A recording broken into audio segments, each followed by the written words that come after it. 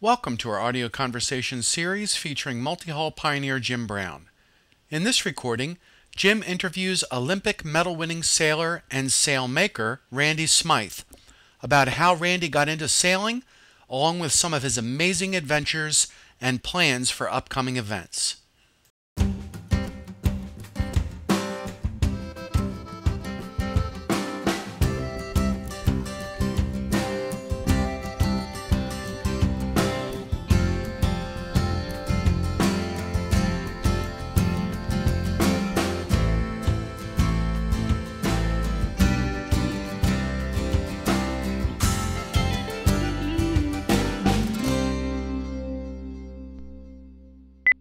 In Virginia, and you're down in Florida, and and uh, we're going to give you a chance to to uh, to tell your story. We'd we'd like to know very much, uh, Randy, uh, um, uh, the basics, how you got interested in sailing and uh, and in multi hulls. But you've had such a sterling career as a racing sailor and sail maker that uh, as we uh, as we approach the end, I'm hoping you'll tell us uh, what you're doing now and how you feel about the upcoming America's Cup. But uh, we can start with uh, uh, letting the listeners know. Probably many of them are in the same position that uh, you were in when you got started. When did that happen and how?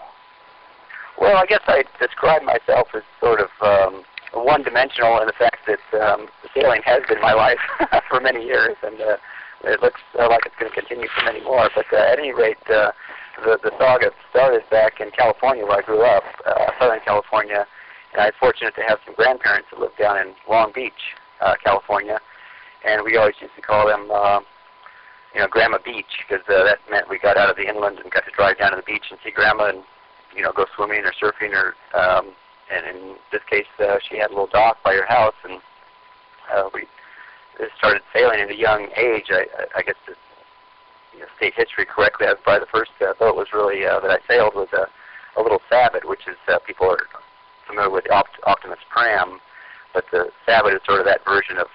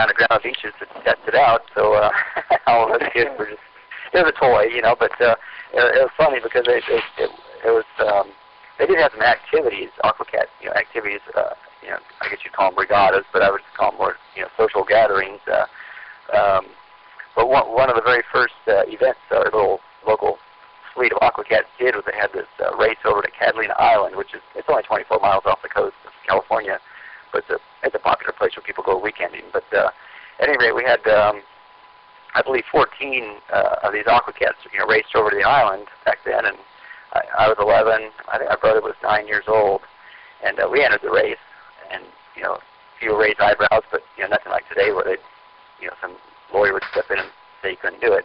Uh, so anyway, we, we sailed over to Catalina Island, and sure enough, seven of the adults got lost. So we only got only seven people found the little cove where the the event went to camp overnight on you know, Saturday night. Oh, And uh, we then we raced back on Sunday, and um, uh, we came back to the mainland there. And, a- anyway, so it was, quite an adventure at, at a young age, I guess. So you, could yeah, say that. 14 miles of open sea, Randy, in, a, in an aquacat. My God, You know, that, it's- it's- that, it's- that must have been about 1960 or something, huh? Well, yeah, because it was uh, it was actually 24 miles, but it was upwind, so they did some tacking. So I don't know, maybe 30 miles, whatever, you know. So, but it took a while to get over there. You know, that, those, those aren't exactly the fastest multi-hulls on Earth. Yeah. you know, we got over there a pretty good time, and um, uh, you know, I knew the island well enough. 'cause I'd been with my parents on a keelboat before, so I knew where to go. And most of the adults, I guess, hadn't been there, so that's why they all got lost and turned back, and you know, whatever else they did. To, you know, you know, I'm not sure where they all ended up. At any rate, only seven of the boats got there. Um, so uh, that was a pretty good little adventure. My little nine-year-old brother, so we had a good time out there. Well, it's a great way to start multi-hulling in aquacat. The last I heard, they were still making them, Randy. Well, they they were they could. I mean, why change one thing? I guess maybe one attitude. But Yeah. I don't, I don't, I don't really feel anything feel about my AquaCat days because it just seems so archaic compared to you know modern you know multi-hulls. But it, it did um, you know even in its day it was you know I could go out and you know Alamitos Bay and Long Beach there and rip by all the monohulls and you had the same old thrill you have in a relative basis today with a you know good monohull versus a good multi-hull where you're still whipping by them. You know so Yeah. you still have the same spirit. You know. yeah. Well, uh, how did that lead to racing? You you've been uh, really focused on racing most of your life, haven't you?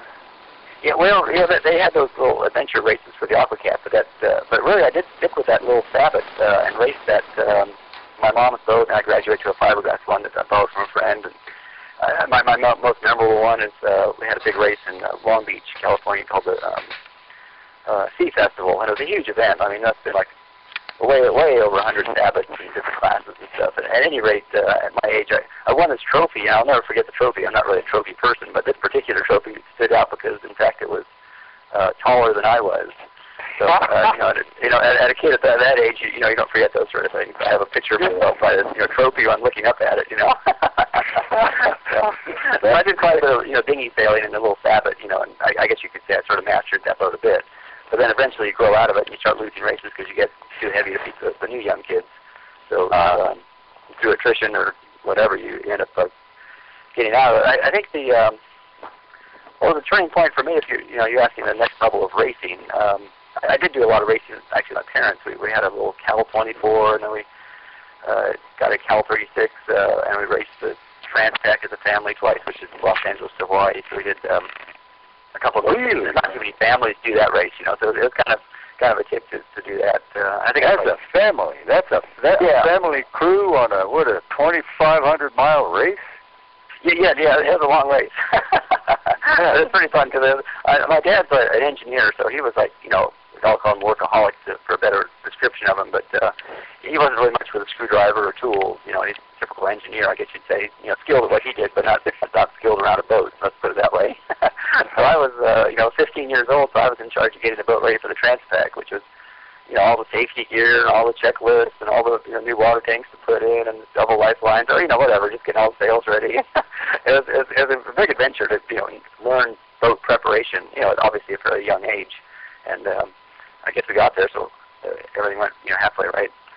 Um, we, we got uh, know, second in our class. We did pretty good in the racing, too, so I did, did a lot of, you know, keelboat racing, um, you know, locally there in California, which is a pretty active um, venue. And then I, I didn't like school all that much, so whenever there's like a race down in Mexico, they have a lot of races from uh, the LA area down to Cabo San Lucas or La Paz or Mazatlan or Acapulco. I would always, uh, you know, get a ride on one of those uh, on the race and um, take a week off school, and I always Yeah. enjoyed that more than doing my French class. Yeah. well, gee, Randy, does that say to you that it's that it's difficult for a, an adult to get into sailing? I mean, uh, starting as a kid uh, gives such an advantage in experience. Well, I'd have to agree with you there. Um, you know, I think uh, you know a lot of things I did as a kid. I don't think kids are even allowed to do these days. I know my kids here in Florida, it's the parents, you know, are charged with a felony if I take them out of school for a week and do something like what I did every winter all the time. you know, like, Yeah. I, I guess they want the tax dollars for kids in school, you know. But at any rate, it's a new time or different time than back then, where you had, you know, true freedom to, you know, live on on the edge, I guess. But you didn't feel like you're living on the edge; you're just, you know, having fun. Ah, yes. Well, um, uh, Randy, the uh, uh, y- you, I, I must confess that I know very little about your uh, your earlier uh, racing career um, in the uh, in the big monos. Uh, let, let's go on with it here now. Just tell us about what you've done. You know, I don't talk about myself too much. I'm not too good about this. But basically, in, in essence, I was sitting around in a homeroom. I, you know, the little 15 or 16 year old in, in high school, and uh, they always had the morning announcements. And one of the announcements was all things uh, a, a job. You know, you can flip hamburgers over here, do this or that. But one of the ads was for a, a sailmaker. And I go, sailmaker? Wait a minute, that's pretty cool. so Ah. there was this fellow Rick Taylor, Taylor made sails down in Costa Mesa. I immediately, uh, you know, got home after school and you know called up. I, I want, can I work there? You know, and I think I was like a sophomore. He was expecting somebody with a car, you know, like at least a junior, you know, a 16 year old or more.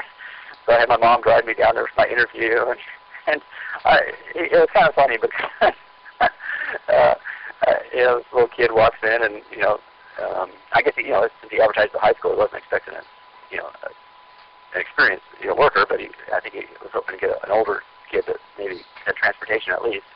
But at any rate, um, I was all enthusiastic, and, and and we started talking. He goes, "Wait a minute, I think I know you." And I go, uh, "Really?" And he goes, "Yeah, were you the one racing that Aqua Cat at the uh, uh, the World Multi-Hull Championship um, with all the sea cats and everything down in Long Beach?" And I go, "Yeah, yeah, yeah." And he goes, "Well, the guy in that and Rick Taylor, the sailmaker that owned the place, he, was, he had a Hobie 14, one of the first ones that doing test sails and stuff for." And he goes, "I couldn't believe you kept passing me on your Aqua Cat."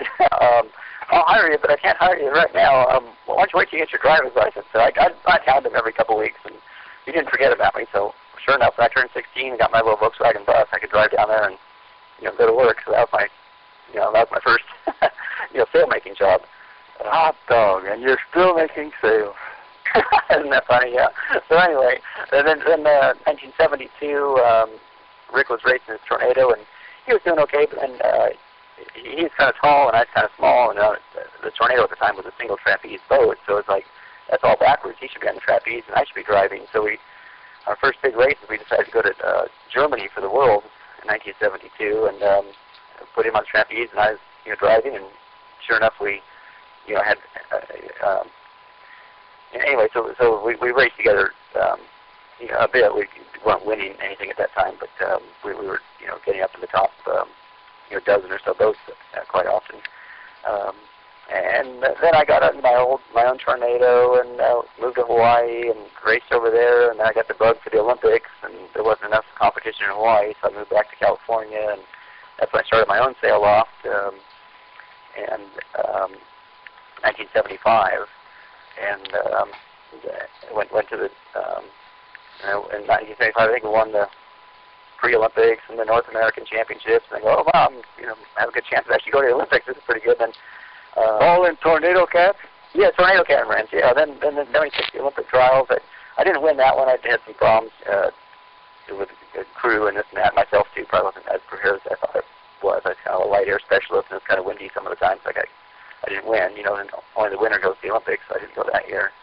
But it it, it set the um, groundwork. I go, oh, that's pretty fun. And then 1980, of course, we didn't do the Olympics because uh, the Russian boycott and all that stuff. Oh yeah. Um, and then um, '84, I finally got a chance to do the Olympics. I still lived in California with my sail loft there, and you know, um, had won the World Championships by then a couple times, and um, definitely won a lot of major events going into the Olympics, um, and ended up with a silver medal there, um, and uh, which is you know pretty good. But in, in fact, it's kind of one step down from where we our level kind of was a year before, and kind of um, there's revolution in the, the sail in the class at that time. Just a technical thing. They went from the well, I don't know how much interest those readers want to hear about these details, but the the mast used to bend sideways with loose diamonds, and the the, the revolution in the tornado was um, whaling the diamonds on tight and sweeping the spreaders back and forcing the mast to bend in a fore and aft axis. They called the pre-bend rig, and of course the sails I developed was for the old rig, and we had to throw them all away and start over our whole development. just before the Olympics, so we uh, we weren't quite as fast compared to the other boats as we had been the year before. But nevertheless, you know, I mean, I mean, silver medal's nothing to shun off, but it was like, oh, it's kind of sad we just got you know out technology just in the Olympic year. And um, the, the, yeah, did you have anything to do with that technology, that event, the pre-bend? Yeah, well, what happened was uh, actually uh, Chris Cairns down uh, Australia probably was the one that uh, not just tried it because people kind of tried the idea, but he's actually one that made it actually kind of work. Uh, so we actually took um, me and my uh, crew, Jay Glaser, down there uh, as a team, chartered a boat in Australia, and we lived down there for five or I think at least about a month. And went to a bunch of events, but we also did a lot of uh, very high tech uh, photo analysis uh, work with. We took uh, Robert Hopkins, uh, our, our coach down there, and he um, kind of what was the photo uh, journalist, it's not just for publicity. This is all real technical shots of sail shape and twists and mast bends, and it wasn't just us, but it, uh, of Chris Cairns and us. And every night after the race, we'd uh, project these things. Uh, you know, this is old school, not not digital.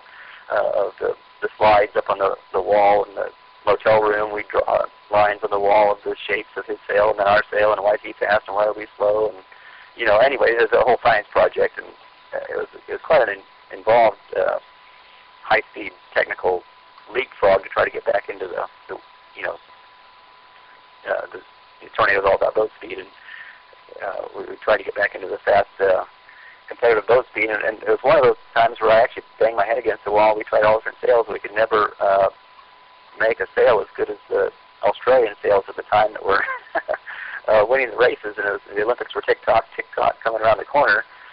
So we actually finally just said if we can't be them, join them. So I've never done this before, but it was, it was like desperation, but it actually kind of made sense. We um, actually uh, traded some sail making labor, I guess you'd call it, for our friend down there who had a um, mylar pattern of the shape that was fast, um, and exchanged his patterns for our. We gave you know, built some sails for him, and he gave us the pattern, so it's good for him, good for us. But it was some technology we just couldn't quite um, master in that short period of time. And then, so we had a pretty fast sail, but like I say, we ended up second at the Olympics, and we really, really went the fastest boat uh, that that particular uh, year. Uh, but we were competitive, so we were happy to leapfrog at least that far ahead in in our little science science camp. So, boy, yeah, technical, you know. Yes, and, and Randy, uh, uh, I think uh, maybe the listeners uh, should know that uh, besides the, the the multi-hull advantage of simply having narrow hulls that are spaced wide apart for boat speed, the real advances, I think, since probably the 1970s, have been uh, have been in the uh, aerodynamic department, in the sails and rigs. Oh, absolutely. If we could have the sails we have today and went to a race back in the 70s, I mean, it wouldn't even be a race. I mean, you'd be laps ahead of these people, you know, because it's not just the sail shape is good, but the sail shapes are good and uh, actually trans, you know, you can actually change the shape uh, upwind, downwind, lighter, heavier, and, and mold them to, um, you know, fit the power that you need for that particular day. Uh, where the old sails were kind of like, you know, one shape things with big heavy battens to kind of determine the shape, or in, in essence, a lot of the like full batten mains in particular, what I call them is a little more of a passive batten where the sail cloth and shape in the sail is actually determining the uh, you know foil sections, and with, with that type of sail you can actually you know, bend the mast a little bit and flatten the sail, and in other words, be in control of the shape while you're on the water.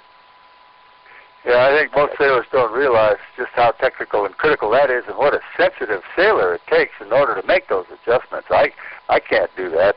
When I go sailing with my son Russell, it drives him nuts because I just lollygag along, you know. yeah.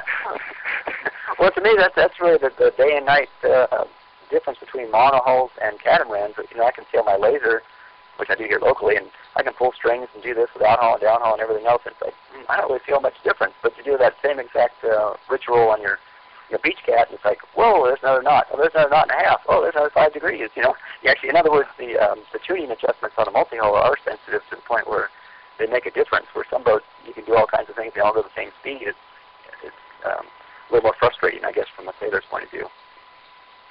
Oh, I don't know. Maybe maybe uh, challenging. Uh, yeah, there you go.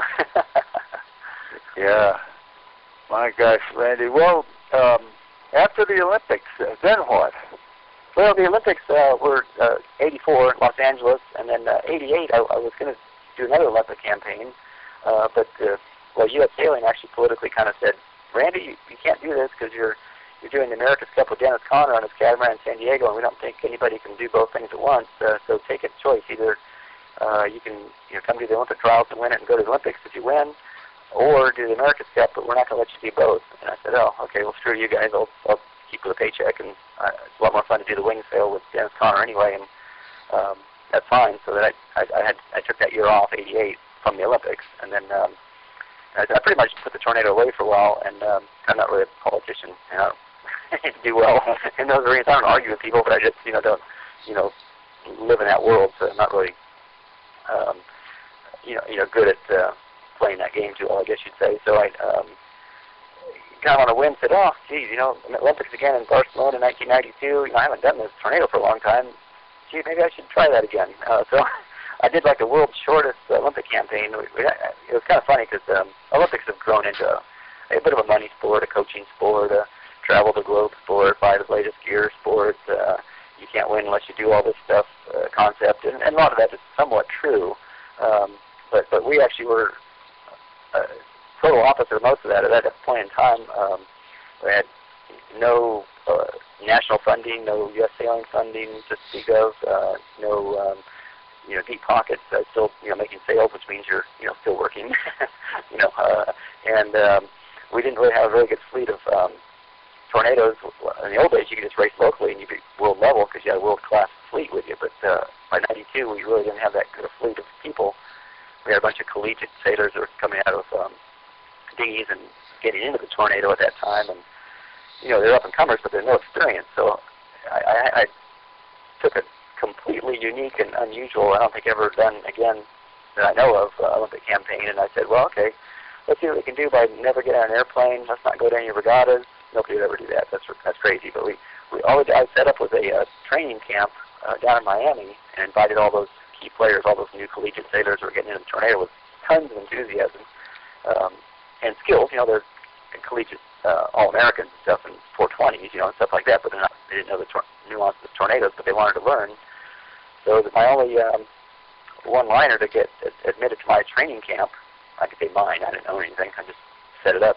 Was uh, all I had to do is you know kindergarten rules. All you had to do is come down there with the uh, ability to share and uh, want the need to learn. You know, and that, that X'd out some of the people that are were in the class that uh, let's say they were secretive and they knew it all and they didn't want to learn or certainly didn't want to share.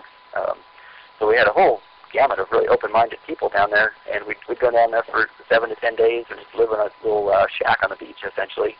Cockroaches, you know, walking over our sleeping bags at night, and peanut butter and jelly was our staple, and uh, we just sail, sail, sail, and we did you know all this photo technical analysis. So we had everybody bought whatever they had, whatever sails they had. We had traders full of you know sails from every manufacturer on the planet, and we didn't care what the label was. But we did this giant graph on the wall of what the, who was going fast uh, two-boat tuning every day, and we, we just dissected the sport into like have a question, where should we put mast rotation? Okay, we don't know. You two go out and set it at 60 degrees, we'll set it at 50 degrees, and tell me who wins in the morning session. And anyway, it was a little junior science project, and we by the end of the thing we had like a, um, a sail analysis that said this is what a fast sail is, and eight knots of wind, upwind or downwind, blah blah blah. And then we had a whole tuning guide that said, okay, and trapeze conditions, uh, set your traveler here, set your outhaul here, blah blah blah. So it, it was like. Uh, anybody could read our conclusions, which was concluded on a little two-sheet tuning guide, very simplistic, but it, was, took a lot of work to get all the answers on that sheet. And basically told you how to sail a tornado in all conditions. So we never went to any regattas, you know, like um, people would do, in, in essence. Uh, but we uh, had had a team of dedicated out there to learn concept, you know, answering questions, mentality. We thought we were passing all the conditions. I went home, and it's unbelievable. I went home. I just plugged in those numbers in my computer, and believe it or not, that's the sail that went to the Olympics. It was just so fast. It was unbelievable. It was just like you, ne- you never do that. I mean, you, you're always at least whatever sail you have on the Olympic level, you're, you got to tweak it and pull it here, you know, recut the luff or tighten up the leech or whatever. These sails just we just, we just came right off the computer, went to bar. Wow. Fast or slow, and we're just blowing them away. Like, like we got, a, I got a silver medal there, but uh, we we should have been. We almost won the whole Olympics like uh, two, we didn't have to race the last race, but then we had a um, oh a, um, a port starboard with a guy, and he never put his flag up, and you know we, we would have done our circle right away if we knew we thought we fouled them, and we you know anyway, long story, but uh, due to a protest, we um, had to um, race the last race, and we, it was real windy that last race. We didn't do too well in the last race, so we ended up with second place, but. Uh, at any rate, we almost won the thing just like going away from it. We were like a couple races, we were a couple minutes ahead. It was like unbelievable, you know, for that level of class. Have never gone to a regatta essentially, um, and to do it all at a little training camp was something nobody's ever done. And it was it, really taught me, what you can do if you really put your mind to it. And I don't mean commitment, but just uh, you know technical, uh, meticulous, scientific method, you know, to to your um, you sailing. How how far you can get. Uh, if you just don't go out racing, you just go out there to you know, you're actually answering questions, and it was it was pretty cool on the race course. We had a tuning guide, and Keith, my crew, Keith Notary, and we go, okay, it's going 11 knots. Uh, okay, open up the book, uh, the, you know, go down the page. Okay, set the jubilee here, set the downhaul here, set here. We, the nice thing about that is when you're racing, you don't have to think about it. You know you're going fast, and we just look at look at the wind and the tactics and the lay lines and the, you know, uh, racing. And we weren't uh, wasting our energy trying to uh, figure out how to go fast. We already knew how to go fast. So there's a whole different philosophy to um, the Olympics. It, I don't know if I'd advocate it to people because maybe it's risky, but it, it happened to work for us on a very low budget. Well, uh, what that says to me is that uh, you know you were really p- pioneering the uh, the business of optimizing sailing technology there, um, and I think myself, I think that's what we're going to need to know in the future when uh, when um, uh, the the need for utilizing the power of the wind uh, for uh, commercial transport is uh, is I think on the horizon now. Uh, they they don't seem to be able to come up with a magic bullet for the energy problem, and uh, I I just think what you were doing was. Uh, uh, really blazing a trail there, Randy, and uh, and uh, congratulations. It's exactly uh, what's been going on now. You said that it was in 1988 when you sailed with Dennis Conner in the yeah, that's that's wing the, sail? the catamaran. Yeah, that's the wing cat- catamaran. You know, Stars and Stripes down in San Diego. So that was uh, yeah. if you remember that that year was we raced against a gigantic um, uh, Rogue Challenger from New Zealand, uh, the big Yeah. monohull with the wings. You know, the hundred whatever feet long, um, eight thirty feet uh, with, uh, with a bowsprit and everything. We had a little, you know, 55 foot waterline catamaran.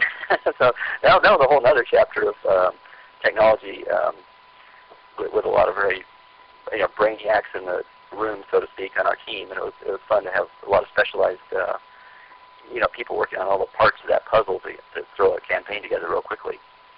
Well, I guess they'd been using wing sails in the Little America's Cup uh, since when the 1960s, maybe. But uh, yeah, that, yeah, exactly. put them on the on the big America's Cup boats. Uh, that was really blazing a trail.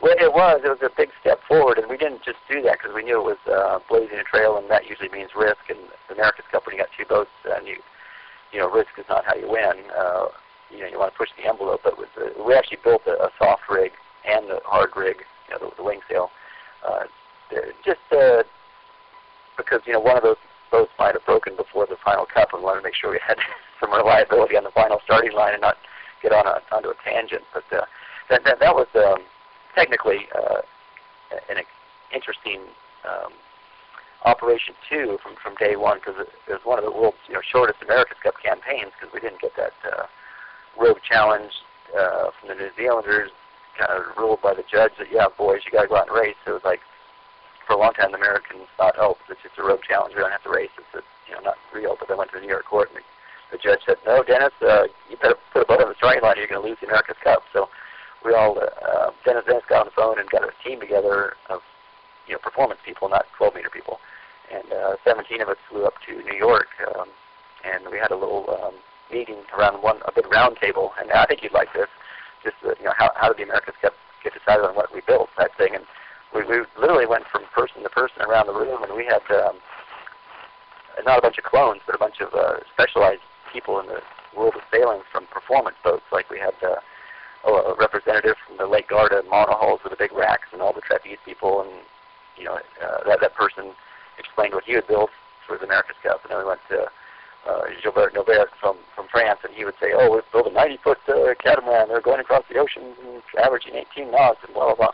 And we go to you know the, um, Duncan MacLane, you know, the Sea Cat America's Cup, um, Little America's Cup uh, guy with Patient Lady, and he said, oh, well, obviously build a wing and blah blah blah.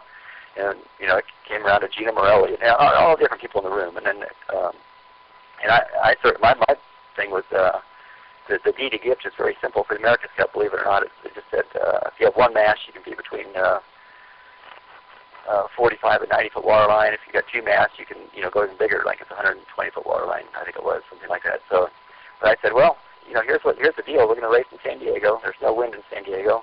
You know, it's light air. Monohulls do really good in light air. They've got this giant monohull. We don't know quite how fast it is, but we know it's big, and we know it'll go pretty darn fast in light air, and, and especially upwind in uh, San Diego.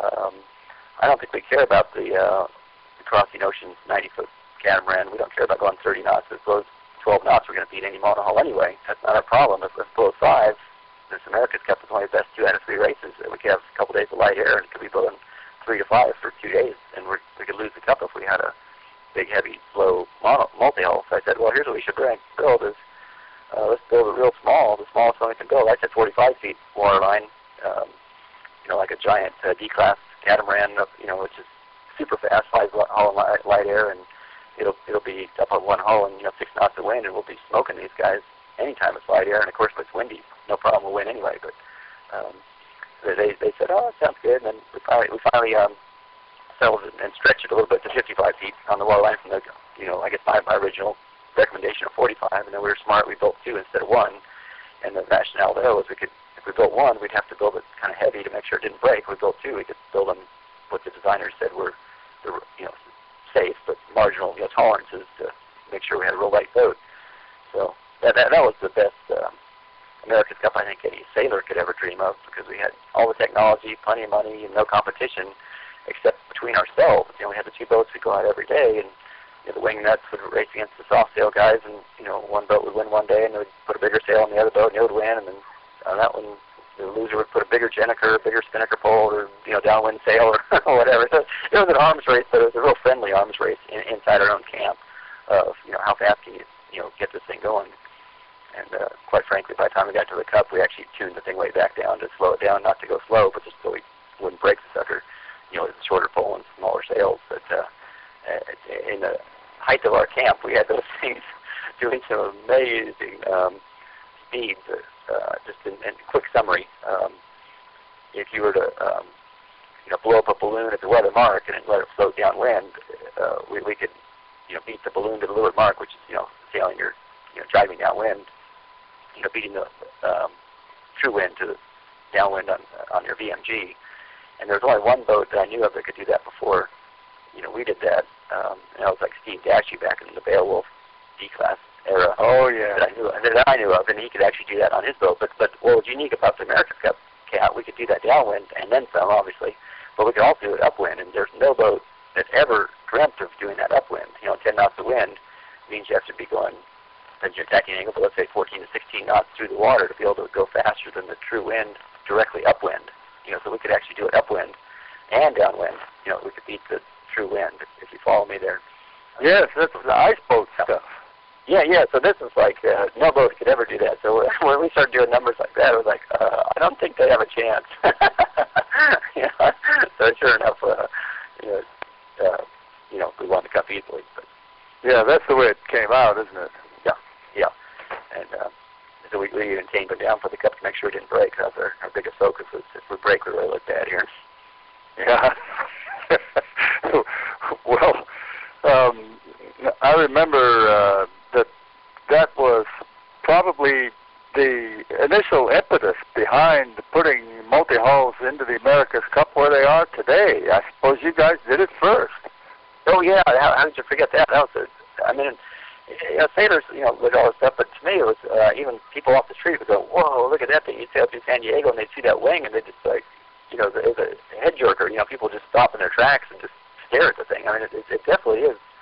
Um, it just screams technology at you. So it's, it's a pretty boat, pretty fun boat to ride on too, obviously. I imagine. God, yeah, a one hole whenever you can, huh?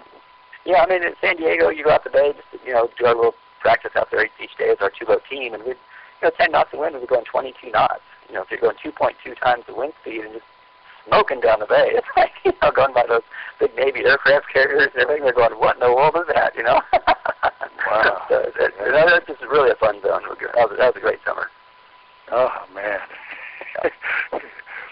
well, uh, uh, uh, then uh, then what happened? My gosh. Uh, Oh, that's a long time ago. That's back in '88. Uh, yeah. but, but at that point, uh, we had this thing called Pro Sail, which was um, a huge, um, I mean, $10 million sponsored uh, pro professional sailing circuit in the U.S. Uh, you know, Salem Cigarettes and RJR Nabisco and uh, USA Today and uh, DuPont. I mean, huge corporations that really, um, you know, USA Today with great pre- press, obviously in the newspaper and national paper, and uh, we had um, a lot of technology in the DuPont, but mostly just you know, $10 million worth of money in a sailing event. I don't think it's happened you know since in this country.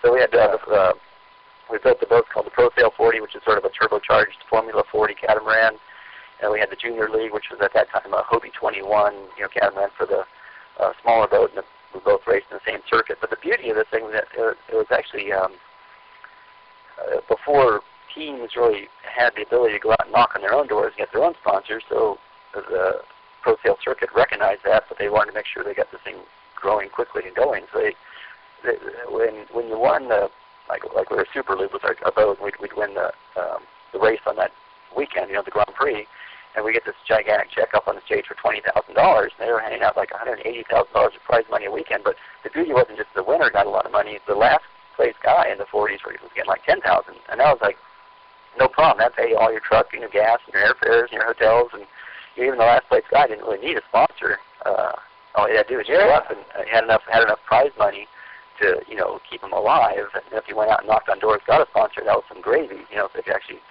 you know Yeah. enjoy a little financial you know bonus, so to speak. So it, I mean, it was. Um, we had good television, we had good uh, viewership, we had uh, obviously exciting boats, and uh, but uh, it, it was sort of sad in some way to, to um, summarize what happened there. Is it, it was almost like if you're a, a kid and you're growing up uh, playing baseball in the you know little league, you're, you're thinking you know major league. You might go to the World Series and they'd be a professional baseball player if you're really good. But a sailor in his little Sabot or Opti or whatever he sails, if he wins his little yacht club races, he's still thinking about being a doctor, or a lawyer, you know, getting a real job out in the world. you never, you know, the kids don't really think about being a professional sailor because there's no, um, it wasn't like France where there really was kind of an upper tier to be able to do that sort of thing. So we, we really didn't have um, that many sailors in the U.S. that uh, even with all that um, monetary help that, that uh, could put their careers away and go out racing, uh, so to speak, because they you know, did, did quite a few Grand Prix. Um, but but the real thing is they they yanked all the cigarette um, advertising away, so we lost all the um, you know sponsorship was and, and RJR Nabisco got sold, and, and anyway, so some of the money from the top stopped too. But so we really kind of lost some of the sponsorship and didn't didn't have the, the full quota of sailors you know to fill the ranks. does Pro Sail still exist? No, not at all. But, but, but funny, the, I just went to San Francisco last weekend and raced my old Super Loop Pro Sail 40, which is you know repainted different with a new owner. But I mean, it's like the boat's like 20 something years old, but it's still you know it still won the Halloween regatta up there on last time. I mean, the boats are still in one piece, which is kind of amazing. I thought they'd you know be in the scrap heap long ago. Uh-huh. So, um, uh, uh, uh, Joe, uh, do do you have anything uh, open here in your mind that we could pick up at this point? Well, I guess it's always fun to hear where Randy has done some sailing. What are the what are the uh, some of the most memorable places or experiences, the favorite stories that stand out uh, in in, uh, in Randy's mind? Some of the most memorable experiences. Do you have any of those, Randy? Or any of those? yeah, how much time do you have? exactly. One of the best.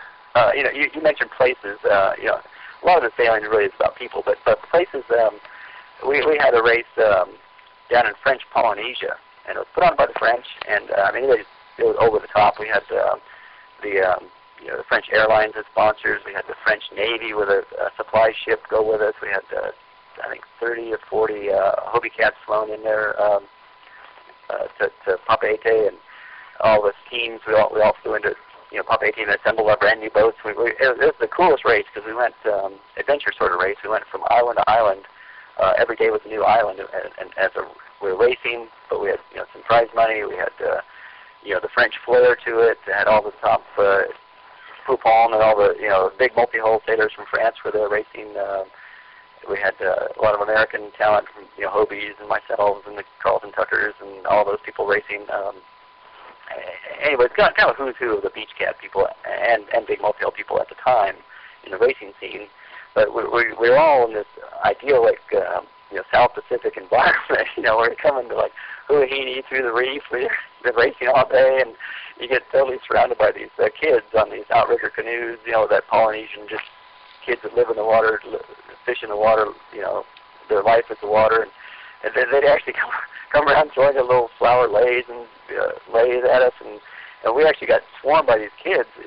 Me and my crew, and they, they jump on board. We had must have like ten or fifteen of these kids jumped out of Hobie. Um, uh, 21, and it, it, to the point where one kid was driving on one tiller, one grabbed the other tiller, and they're pushing and pulling and yelling and screaming and having a great time. And they had so many kids, they almost sunk the boat, you know. But it was, um, you just got the spirit of the Polynesian, you know, lifestyle, where it's like, you know, these aren't kids, you know, having a tough time. That the tough, tough kids are back home, you know, going to school in the city, you know.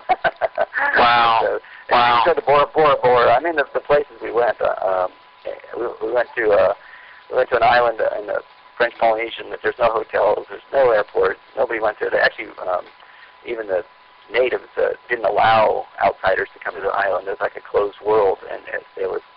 We actually came into a Hobie Cats, got permission, sort of, from somebody, and um, all the locals were like, wouldn't even come out and see us. They, they were afraid of white man disease or something. I don't know, but they they'd hide behind the bushes. And the first, the first people that ever come out and uh, you know have a barbecue, we're cooking that night, and um, kids, you know, came out, the local kids, and, and then finally the parents came out, and pretty soon just the whole island was out there having a great time. But you know, I don't know, it's just it's hard to describe those um, moments uh, where you step into somebody else's world thanks to your, um, you know, your um, transportation, you know, being by little beach cat where you can get to these little reefs and these little islands, and um, that's probably one of the most beautiful places I think I, I've been. Um, wow. I, I could go on and on. We did you know races up and down the coast of Portugal, up to uh, Douro River all the way across Portugal into Spain, up in the mountains, uh, you know, by river on, on catamaran, you know, and little villages eating sardines at night, you know, I mean, just, you know, um, highly organized events, but uh, nevertheless very uh, high on adventure. And, um, and, and so somehow, maybe it was my cat from way back to the beginning, but to me, that I've always done really well on those things. I I won most of those, won the Tahiti one, took all the prize money, went to um, I used to race the World 1000. I won that six times. So I've done a lot of racing, you know, in that uh, adventure uh, category. you've you've won the World 1000 six times. Well, yeah, they they don't have that anymore. I, I guess people like to sail at night, but you know, Yeah. that's, yeah. Yeah, that was the zaniest race that I ever heard of. You know, up the No, that was totally fun. I mean, that just was like you're, you're doing things out there you know you shouldn't be doing, but you know you can't quit because you're you know in the ocean. you got to keep going. Yeah. yeah. I mean, we're at midnight ripping along on the World 1000 on this crazy boat, planing hull catamaran, uh, 20 feet long and 30 feet wide with these racks and giant wing masts, just wailing up the coast at night and full moon, just you know, just having a great time. Not going real fast, but you know, just flying a hull at night. It feels like you're going super fast, and and it crashed into a, a, a fish, a shark, or something, and it hit the windward daggerboard. The daggerboard went slicing through the hull, and it put about a three foot crack through this you know cedar carbon hull we had and um, my, my crew, uh, Kevin Burnham, Olympic gold medalist from 470s, and he, he, he was, uh, Randy, Randy, we're, we're sinking, we're sinking. I go, shut up, Kevin, sheet in. He goes, what, what, what are you talking about? He's jumping all over the place. I said, Kevin, if you stand there any longer, we are going to sink. So I, we she- sheeted back in, we got the hull back up in the air, and of course the water drained back out. And he goes, oh, I get it, I get it. I said, well, Kevin, don't let the hull touch the water, whatever you do. and so we had to sail the next, you know, two hours to get to uh, Tybee Island at the checkpoint. And of course, the World 1000, you don't finish at a finish line uh, in the water. You go through these two orange flags that are, you know, planted in the sand. So of course, you go through the surf to get to the finish line. And so here's what we're gonna do, Kevin. We got to fly this hull right through the surf. Um, you know, get that leeward dagger board up, and we're just gonna, you know, fly in the, the one hull. Don't don't let the hull down because we get we get stuck in the surf and you know, swamp out in the waves here. This whole boat could be a you know a raft that breaks up into pieces. We'll never finish this race. You know, we might make it to the beach, but there's not gonna be much left. So we flew the hull right in the spinnaker up and everything. It was right up to the beach, just wailing in in the middle of the night. You know, like ground crews are all delirious because you come out of the dark and they don't really see you until the last second. And we're just, you know, coming to the sand, you the bow waves, you know, and just come to the beach and flop it down. And, and uh, my, my ground crew, um, He goes, what in the world is that all about? Well, I go, we got a little job tonight, so we had to stay up all night, you know, dry it out with hair dryers and epoxy and fix it for the next day. And of course, he starts next day at 9 o'clock, and sure enough, we had it all fixed and ready to roll again. But that's just the World 1000. I mean, that's just a story, but I mean, that's just, that's just how that life is. You know? That's a story, all right. yeah. I just, yeah, yeah, it just goes on and on. It's just, it's a crazy world out there because you're just way over your head. yeah, if you have one hole sinking, fly it. yeah, just keep on going.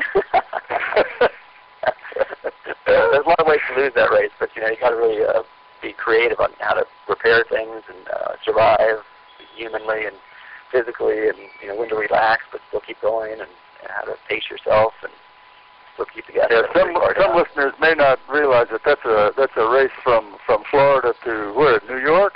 Yeah, it goes from uh, Virginia, or go, it finishes in Virginia Beach, but starts down in uh, Lauderdale. Uh, so it goes up the, the Florida coast, and um, th- then you get into uh, you Georgia and the Carolinas. But the, it really gets exciting up at the top of the course, really, because you get to Cape Lookout, Cape Fear, Cape Hatteras, and these are uh, diamond shoals. You're going through like 12 miles of breaking surf to get around, you know, to cut the corner on all these points. So it, it's uh, really, really when you get fatigued at the top is when you get challenged the most. You know, the easy parts for it, Papa Spinnaker and asymmetric, and you you know, trapeze, but you're ripping miles. It's easy. It's kind of southeast trade. But at the top of that course, after you've already been worn down for a week of sailing, is when it really uh, tests you. Oh, Randy, God, what sailing! Oh, yeah, it's all good stuff.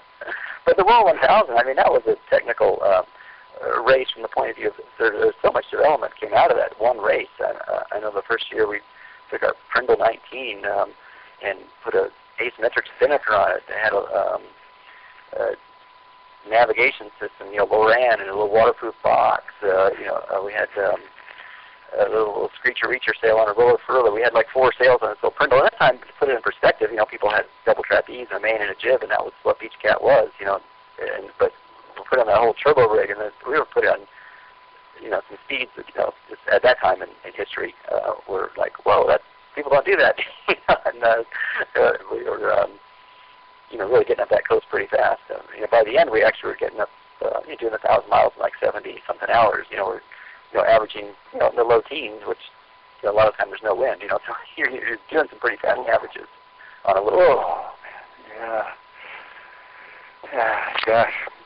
I know it takes your breath away, but there's, there's a lot of technologies, you know, like a plane hull catamaran we built, and uh, all kinds of um, you know, uh, advances uh, that, that today are kind of like all beach cats have asymmetric spinnakers and a spinnaker pole and and, that, and you know stuff like that now. But it was uh, it's fun to be on the leading edge of things, not not the trailing edge. So that that that's just kind of me. I don't. The kind of a fine-tuned machine, but I, I kind of get tired of that. I like I like my, myself personally. I, I really like more creativity than that, where you can really have you know blank sheet of paper projects where you can really um, carve out a new niche. Uh, you know, like the, the scissor I built, you know, that you saw down in Sarasota, and you know, things like that. I, I just like to um, see things that are you know, sometimes unusual, but uh, free thinking. Yeah, Randy, can you tell us about uh, your, your trimaran? What do you call it? Scissors?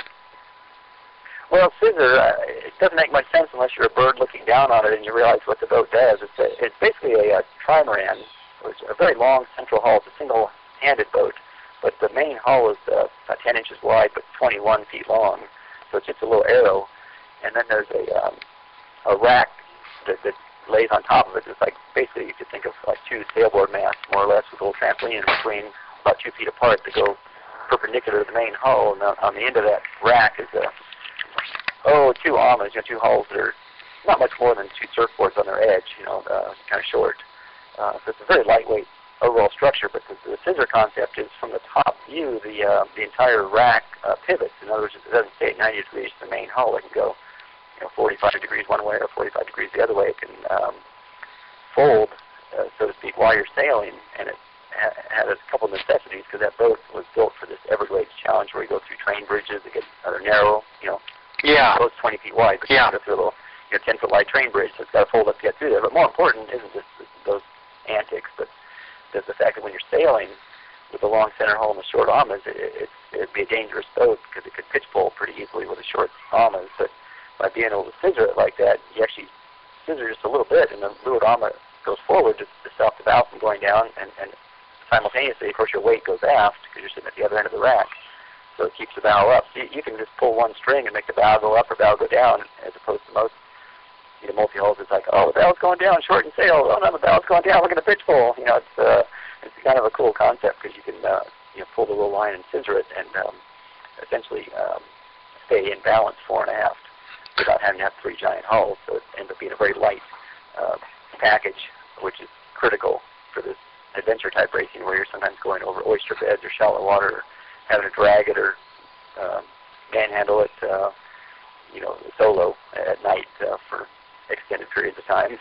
Wow, that, that's amazing. It's I've seen pictures of it. It's an amazing boat, and and so the, that leads to the next questions. Did you design it and did you build it yourself, or did you have help, or did you contract some things out, or how how'd that work? Uh, it, it's a good question, actually. but basically, um, I didn't know anything about this. Um, you know, adventure race in Florida. They have under this Water Tribe um, banner or club or whatever they call themselves. Um, they, have, they have two races. One's the uh, Everglades Challenge, which is 300 miles through the Everglades Park in South Florida, from right. down to Key Largo, essentially through the Thousand Islands and alligators and everything else.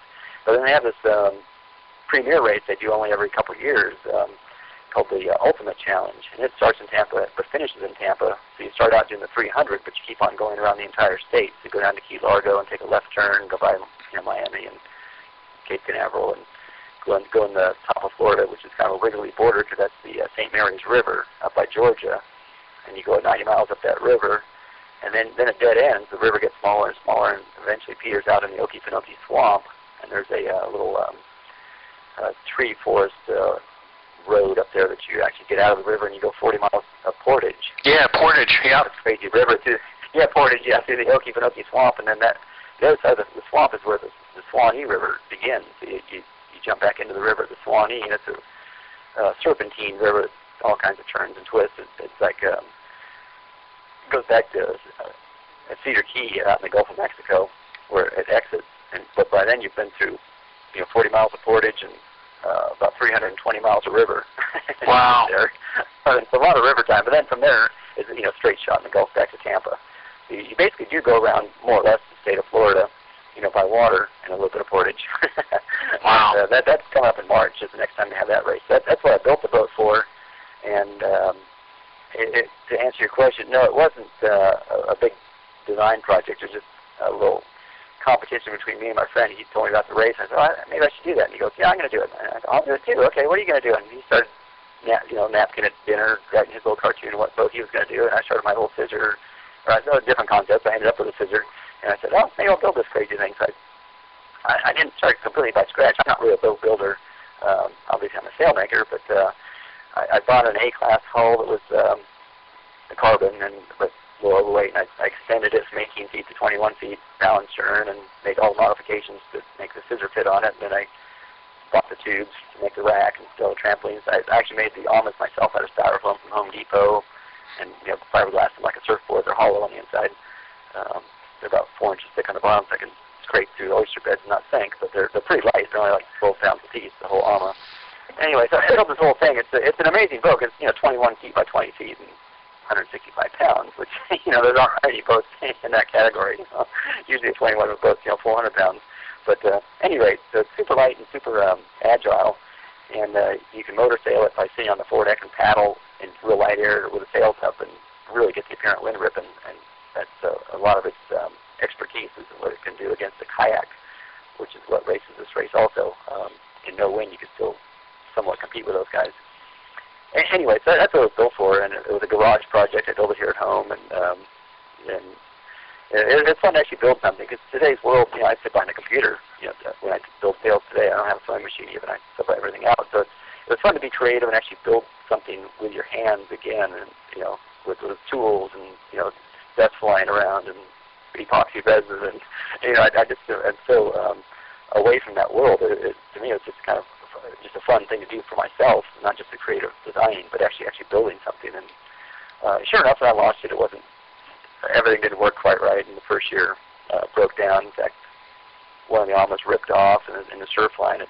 Gasparilla, and I, I, I was about nine miles offshore, um, and um, the ama finally broke off completely. And it was a lured armor, and it was night, midnight, and I sitting out the end of the rack, and I'm going, gee, you know, let's see if I tack, the mast will fall down. If I uh, go into the main hull to do anything, the boat's going to tip over. Uh, I got to sit out here on the rack. I, I better keep sailing. So I sheeted everything in tight, and luckily I could just barely go to windward and make the very last remnants of light, you know, before Marco Island, the end of the Florida, basically, and um, managed to crash into a beach in the um, in the fog and bumped into bunch of guys were partying on the beach and had some pizza and beer in the shower. So I ended Wow. up surviving that little episode. But it was like, it was like, oh, I'm not sure I'm going to make it here. What the wind shifts? I can't get in there. It was like, Oh. you know, Wow. you know, Wow. decrepit boat. So anyway, I've had some moments with the boat, but now it's, it's you know, I won last year the Everglades Challenge, and I um, got second the year before. So it's um, racing at the Tornado with two people. So it's, it's pretty fast boat, and it's, I can do it solo and stay awake long enough to win. And the boat hasn't been breaking, so I've been racing it like you saw me down in Sarasota, just doing a regatta with it. It's not really, I don't race it regattas often, but it's fun to do that, just to go around buoys with beach cats. Um, but my real goal is in March of 2012 to do this 1,200 mile race around Florida. So that's, that's my big focus. I'm doing a lot of kayak, a lot of paddling, and I'm, I'm that crazy guy out there at five in the morning, my big backpack, practicing the portage for 40 miles. And he's not the Yeah, tell me about the portage. How, how do you move the boat 40 miles? yeah, I think the portage is going to be the hardest, and the, the, the 300 miles river is not my sport, so that's going to be my second hardest. And sailing's going to be fun, you know. So I'm not that worried about the sailing. But, uh, you know, I've got a fast boat, and I can make mistakes sailing, of course. But the um, portage, um, the 40 miles down this road, it's actually a paved road, so it's it's, conc- it's um, asphalt, but there's no there's some logging trucks and I drove down in my car one time down the road 40 miles and I saw six cars. There's basically no traffic, which is which is helpful, and you can't do it 40 miles at once. First, that's a long walk. So you, you can pull off the road and by the train tracks. There's, there's plenty of places you, you can stealth camp um, and, and and and camp, but you're you're totally on your own. There's nothing out there. Nobody lives out there. There's no stores or you know uh, hamburger places or whatever. You're you know you're totally a boy scout out there. Um, but the the uh, mechanics of it all is you. Um, uh, it's a little complicated. Basically, uh, you, I sailed with Scissor from Tampa around Florida and, uh, um, to the entrance of St. Mary's, but the river is actually too narrow and the road's too dangerous. They don't let us take our um, boats down the road because it's, they, they think we'll probably get run over by a car, which is probably true. So we actually switch over to a, a kayak for the river portion. So I, I take all my gear from the, you know, safety gear and camping gear from the scissor and then switch it over to a kayak at the entrance of the um, St. Mary's River on the Atlantic Ocean there, and, and paddle upriver 90 miles. And then um, you get out of your kayak, and uh, I've got a little uh, backpack that has a, um, uh, a water bag in it, but it's got like what I call a trailer hitch on it, right at my butt or my waist, uh, belt loop in the back, or a webbing loop. And I tie that more or less to the boat. So I just walk in front of the boat and tow the boat like a tractor at you know slow speed. But the boat's you know 50 pound kayak and all your gear in it, so there's way over 100 pounds worth of stuff behind you. I have little wheels I put on the kayak and walk down the road with you know reflector tape everywhere and some lights for at night, so hopefully don't get run off the road by a drunk driver. And um, you know that, that that is I think going to be the hardest part because it's not exactly flat. There are some hills there, and it's, you know it's just walking 40 miles is a long way. My son, you know, 57 years old, pulled some stupid kayak down the road. You know, so Yeah. it's going to be kind of it's going to be a challenge. Well, uh, Randy, so you don't have to uh, complete the course in the same boat all the way.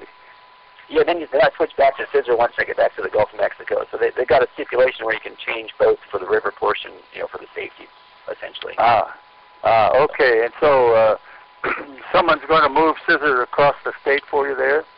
Yeah, I, I had planned on doing this. I designed the scissors, do the whole thing, uh, you know, by, by scissor. But then they, um, there's other people with uh, this Hobie Adventure trimaran things that do it, and they, they said, oh no, those are a little too wide to be in that little road. You're gonna, it's gonna, somebody's gonna get killed. So they said, no, anybody with a, you know, class five, which is a multi-hull in this race, you can switch to a kayak for the rivers. So um, anybody can switch. So it's, I think it's a little more sane. Uh, you know, it's one thing to have issues in the ocean. It's another thing to have issues on the road. You know, Uh, yeah. sense. So do you get your you, you get scissors back there at uh, at the Suwannee River? Cedar, at uh, yeah, where the Suwannee pours back out, basically at Cedar Key. And Uh-huh. I go the last 100, mi- 120 miles by um, Scissor to back to Tampa. Yeah. So 800 miles, uh, you know, cat in the trimaran, 300 miles on the kayak or whatever. What a contest! My God, it's completely crazy. I know, but it's a challenge. I'm not sure I can finish it. I, it's easy to start, but you know, uh, a lot of things can happen. Certainly. So, uh, do you foresee the uh, scissors uh, concept uh, uh, appearing in other boats? Uh, that that I call it the pantographing uh, crossbeam system, where where um, you can uh, you can advance the the lee float forward and Right. weight aft. Exactly. Um, do you see that appearing in in other multi hulls now? You know, I don't think there's too many people as crazy as I am, so I'm not sure the mainstream. there could be some Mhm. fringe people that uh, you know really can see the performance advantages and want to go for it. Uh, I have no idea. I, I never really did it as, as a commercial deal. It was just, like I said, honestly, it was just fun to build something and be creative and uh, Yeah. build specific for the race. Uh, it was, you know, if, if you start from scratch and build it for the mass market, you probably make it out of plastic and you know whatever people buy these days. But this wasn't made for the mass pu- pu- public. It, uh, there's some pieces of it might work for that, but um, Uh-huh. I, I don't know. I don't know how to answer the question. But uh, uh, Well, uh, uh, the reason I asked, and uh, I'm not, I, I guess the uh, the answer is, uh, my, my answer is that uh, I I really believe in that pantographing concept. Um, the second model that I built for the Wind Riders, for the Wind Rider 16, was uh, a pantographer, and that was, uh, you know, 1995. Good. And, Wow, I uh, know that. Good. And they, uh, they uh, the, uh, the the builders uh, didn't go for it. Uh, Yeah. The thing that I thought was uh, attractive about it was that you could, if indeed the boat was to capsize, you could pantograph it and uh, get, deprive it of its stability so that you could get it back on its feet. Exactly. And, uh, a lot of advantages. Yeah, practical side of it. Yeah, and Docking, uh, trailering, capsizing, all that stuff. You know, it, it works. Yeah, and and I think uh, uh, where it would really belong is in uh, one of Sam Bradfield's foil-borne trimarans. Yeah, I, I didn't put foils on this because it's made for shallow water, and of course foils don't work in shallow water. But and this boat was built to beat a kayak at low speed. It's not really made to go super fast at high speed. But you're exactly right. Uh, it definitely is a total candidate if you want to go fast to you know foil it because you got the short little arms that don't go that well at high speed, and, and of course foils too. Uh, so you Yeah. have a lightweight, controllable, um, diagonally stable, yeah, light. You know, I mean, you, you have a machine. So yeah, you, you can take the Yeah. you can definitely take the concept to the next level, but uh, right now I'm just trying to finish this little 1,200 mile race. Yeah. Well, you might also be interested to hear that um, that uh, my son Russell works uh, now and then with this guy Paul Bieker out in Seattle, who's a renowned yeah, I midwatch 14 guy, uh, Oracle guy, yeah.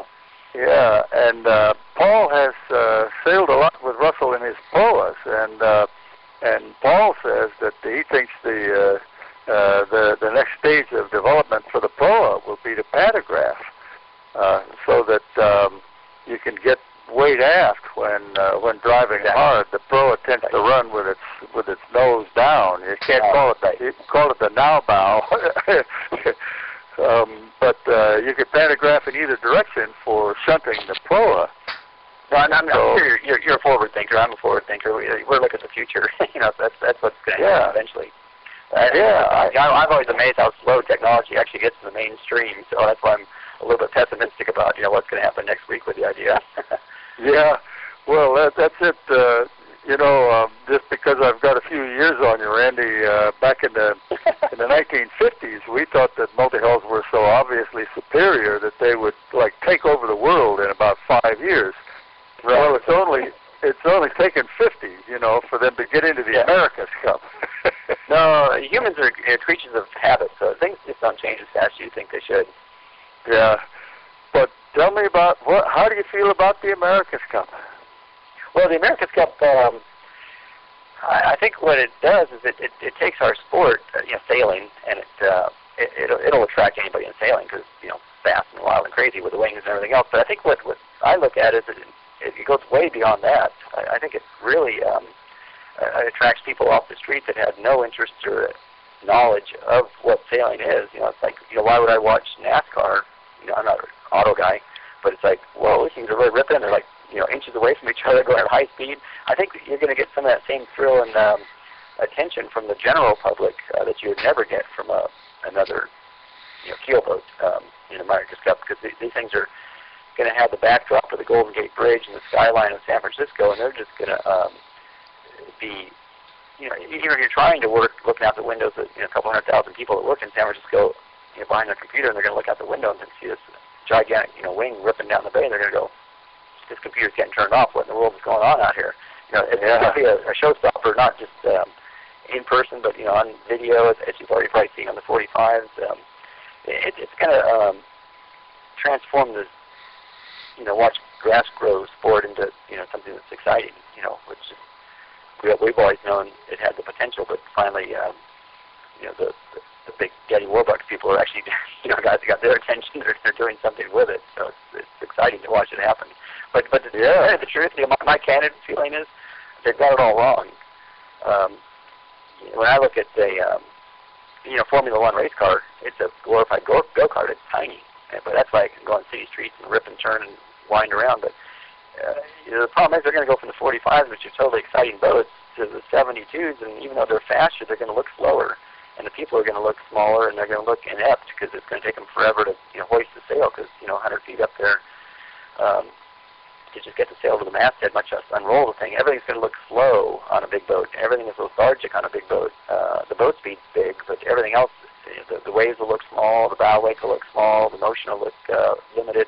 I'm not trying to be negative, but really, I think um, if you're trying to look at a sport, any sport, not just sailing, through a lens of a camera, uh, you want it to be a human interest story, not a carbon fiber interest story. Uh, so I'd like to have the people be the sport, not the vehicles, as much as a 72 footer is going to be.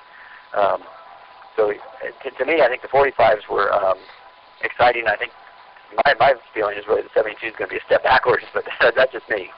Um, well, that's very interesting, Randy. I hadn't thought about that, but th- but that's true. It'll uh, uh, just because it's big, it won't look like it's going as fast. No, you ever seen a 747 fly over? going 300 knots, but looks like nothing. You know. Yeah it looks like an Airbus up there just floating around in the sky, you know, but you see a little uh, um, Red Bull air show on a little Pitts biplane or something. It's like, whoa, look at those suckers. You know, small is yeah, even big is lethargic. You know. well, they haven't built the big boats yet, have they? No, but they'll they'll they'll find out soon enough. As soon as they get the cameras out there and look at them, it's going to be uh, where did the excitement go? Whoops. yeah. Well, that's what I thought. Uh, you know, if when they were going to do the the real America's Cup, I thought it should be done in 25 footers. the way the problem is, is you, know, you and I know what the camera looks like, but a billionaire doesn't look at that. They're, they're living on their egos, and, and the America's Cup is a billionaire sport. It's not us, and never will be us. You know, it's going to always be uh, the you know the Liptons of the world or whatever. Uh, you know, there's the big big money guys, uh, and and and they want big. They want you know to show their wealth. They want to have you know, and big is all they think of. They never think of small and exciting. So it's, it's hard to change the mentality of those, those kind of people, and that's what the America's Cup is. But luckily, they've gone, you know, as far as they have, which is toward multi-hulls and toward high-speed sailing. But, but you know, that, that's my feeling. The 72 is going to be a, a, actually a step down from what they're doing today in the 45s. Well, my gosh, Randy, um, have we missed anything? Uh, oh, of course you have, but I, that's enough for one conversation.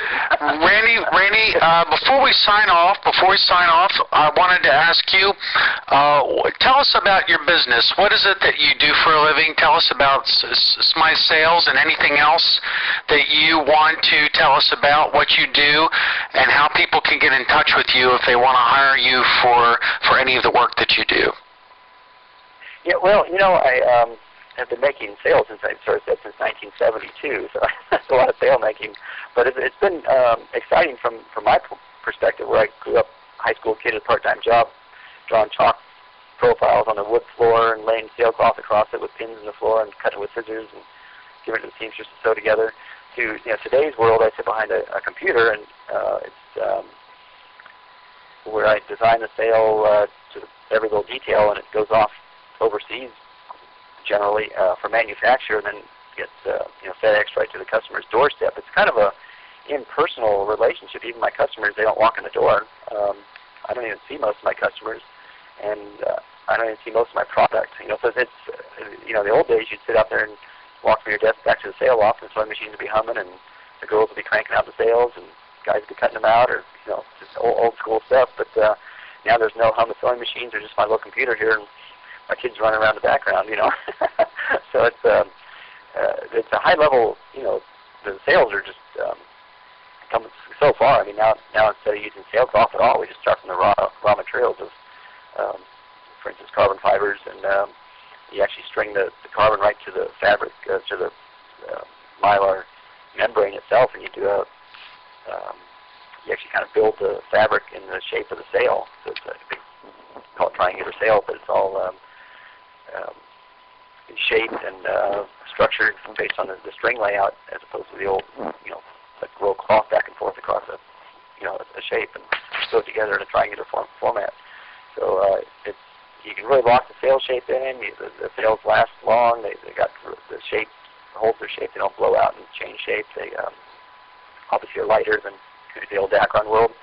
And um, the uh, my my um, marketing zip code isn't my neighborhood like sailmakers maybe used to be. Now it's you know, just planet Earth. So I get calls from all over the place. Uh, and it's usually a creative person wants to do something that's uh, unusual, different. And if he calls me, he calls the right person because that's what I like to do. And, and I've got files and files of you know projects that have gone right and wrong that uh, you know we can stepstone from to take the step forward for that for the next customer. So it's, it's um, always kind of pushing the envelope, but it's um, based on a lot of uh, knowledge over time of um, all kinds of projects with different people. So, um, you know, what am I doing now? Just coming out tomorrow. We got this um, F32. It's a wild, crazy, you know, trimaran Farrier design, but we kind of modified it a bit, um, which I'm inclined to do. Instead of one rudder, it's got two. Instead of one dagger board, it's got uh, two curve foils and the amas and a central dagger board. Instead of the mast sticking up straight, the shrouds are hooked together to a central um, hydraulic cylinder in the main hull. You just open the valve before you tack, and the mast falls over the leeward. You tack over and automatically canted rig big long spinnaker pole, um, all carbon fiber, you know, racy boat, but uh, still a tradable boat. And, um, uh, simplistic layout, of, you know, carbon mast, but all very few winches, um, and only a four sail inventory. So it's pretty, pretty, uh, pretty simple. But it, it'll be a very fast boat, very, um, you know, pushing the envelope in, in that category of boats. And like I say, that's it's been about a year and a half building this crazy thing. It's late as always, but uh, the boat's on the trader driving down here, and that's tomorrow is going to be getting that mast up and taking that thing out for a ride. So that's my world. Uh, you know, projects like that. And uh, didn't you design the sails for Sam Bradfield's new hydrofoiler? Yeah, I've done a lot of his uh, sail designs in the past, um, and he, he's always a, a fun character to work with because he's what 92, I think, or something now, and he's um, the father of hydrofoils in my book. And yeah, he's made a lot of mistakes, like we all have, but uh, he's, he's learned a lot, and um, he's, he's really got uh, a lot of the answers that uh, people wish they they knew as much as he does. Well, he's collected the data like you did in that campaign. He's uh, yeah, that's right. he's, he's really uh, got a wonderful program to predict performance in hydrofoil sailboats. Yeah, that's right. Randy, what's your uh, what's your uh, contact information? Uh, I, I'm going to try and post it with this uh, audio when it goes up on the uh, website, but uh, just so you can include it here right now, and and let us know if you have a um, a website yet to also. Yeah, well, no, I used to have a big elaborate website with all kinds of stuff, but I had so many phone calls and people asking me you know, how to trim their sails and this and that. And I'm, I'm a personal person, but there's I've only I'm only one person. I just got, and I'm not a. I guess if I learned how to be an attorney and charge by the, you know, phone call, I could turn into a business. But I ended up just being a uh, a free coach to the whole world. So I actually turned my whole website off. I'm not trying to, you know, close down, but uh, I, I just I'm old school. I just have email and phone number, and um, if they want me, they find me, and then they get my attention, and we, we work on a project together. But uh, that, that's that's why I don't have a website. It just got to be uh, just too much. Um, What's the email address people can reach you at? Yeah, my email's simple. Just uh, smythsails, S-M-Y-T-H-S-A-I-L-S, at cox.net, C-O-X.net. And then my phone number is just 850-243-WIND, which is 9463. Terrific. It's two four three win. you got it. Yeah, W-I-N-D. yeah, that's great, Randy. Yeah. Well, this has been wonderful, man. I, I I know there's another fund of information in there. I hope we can talk about it again one of these days. Okay. Well, it's, it's, it's, a, it's a pleasure to meet you in Sarasota. I, I can't believe uh, we're, we live in the same world and the same planet, and we hadn't uh, bumped shoulders until then. But uh, that was a real pleasure to meet you, Jim. Thank you so much, uh, Randy, and it was my joy too. And to see to see Scissor Sail, watching her, watching you tack her out of that tight harbor where you launched, it was really quite a sight. And, uh, yeah, uh, it is, a, it's a total grin to see all that boat. It's so much fun. Yeah. okay, total grin. Okay, Randy. Thanks so much for doing this with us. Uh, anytime. Take it easy. Have, have, have okay. All right. Bye bye. Yep. Bye bye. Wow.